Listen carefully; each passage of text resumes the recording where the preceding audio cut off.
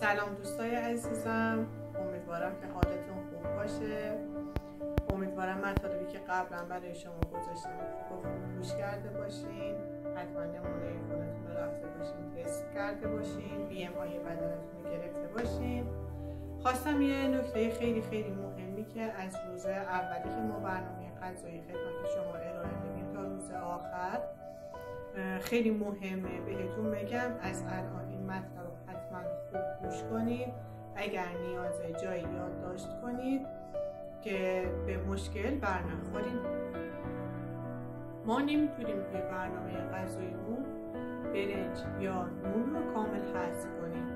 چون بدن ما شاید چند روز اول از قبل انرژی داشته باشه و بتونه با نخوردن برنج و نون کنار بیاد. ولی حذف برنج و علاوه بر اینکه ما خیلی بی حال بی حوصله بی انرژی میشیم یه سری عوارضی هم برای بدن داره. مثلا حذف کامل برنج موجب ریزش مو میشه و این یک آرزوی بسیار بدیه. اما نمی‌تونیم بگیم که هر وزنی مثلا وزن 60 کیلو با وزن 100 کیلو باید یه مقدار برنج مساوی بخورن. نه. بر اساس توده بدنی بر اساس بی که شما گرفتید. ما مقدار برنج و نونی که باید مصرف کنیم متغیره برای افرادی که وزنشون بین 60 تا 70 کیلوگرم هست بین 60 تا 70 کیلوگرم اگر غذای اونها برنج به همراه خورشت هست یعنی برنج ساده 6 الا 7 قاشق غذاخوری سرخالی.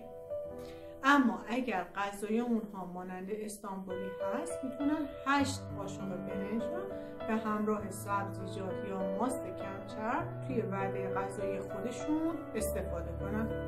پس وزن 60 تا 70 کیلوگرم 6 قاشق غذاخوری 70 الی 80 کیلوگرم 7 الا 8 قاشق غذاخوری سرخالی برنج می‌تونن مصرف کنن.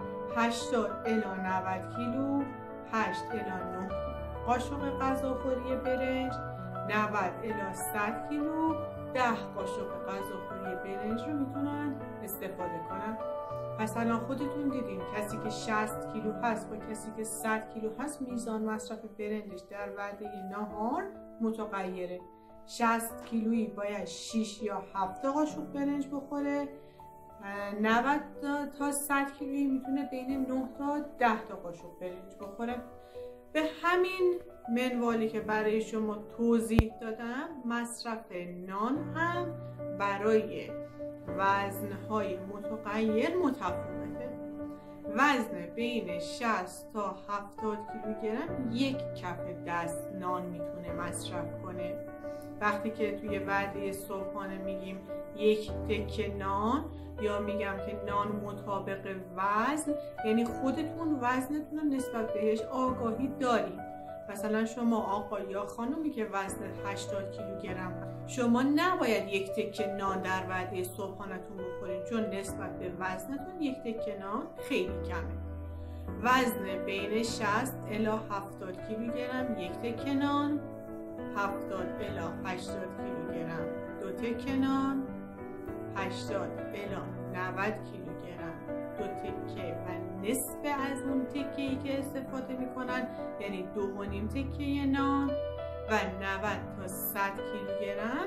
حداقل اندازه سه کف دست یا سه تا تکه نان می‌تونن مصرف کنن.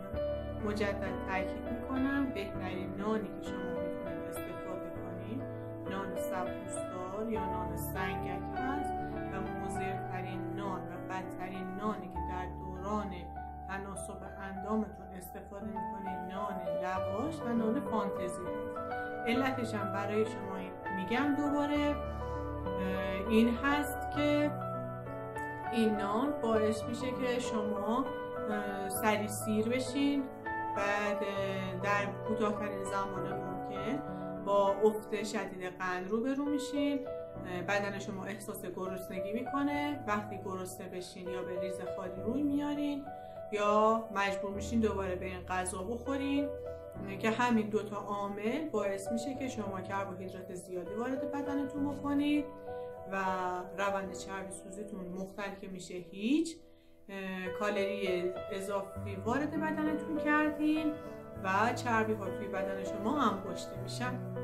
پس این ویدیو رو خوب خوب با دقت گوش کنید. چون توی برنامه غذایی هر روز که به شما میگم می‌تونید چی مصرف کنید تا به تناسب اندام برسید میزان برنج و نان مصرفی را میگیم مطابق وزن. خودتون امیدوارم این نکات رو یادداشت کرده باشین یا این کلیپ رو ذخیره کنید که تا وقتی بهتون میگم میزان برنج یا نان مطابق وزن متوجه منظور من بشید امیدوارم مطالب قبل رو با دقت گوش کرده باشین. خواسته هایی که از شما داشتم انجام داده باشید حتما با من همراه باشین. چون دیگه ما می‌خوایم برنامه تناسب انداممون رو شروع کنیم و من به شما بگم می‌تونید هر روز چه خوراکی های خوبی رو بخورید سالم بخورید درست بخورید تا به تناسب اندام خوبتون برسید.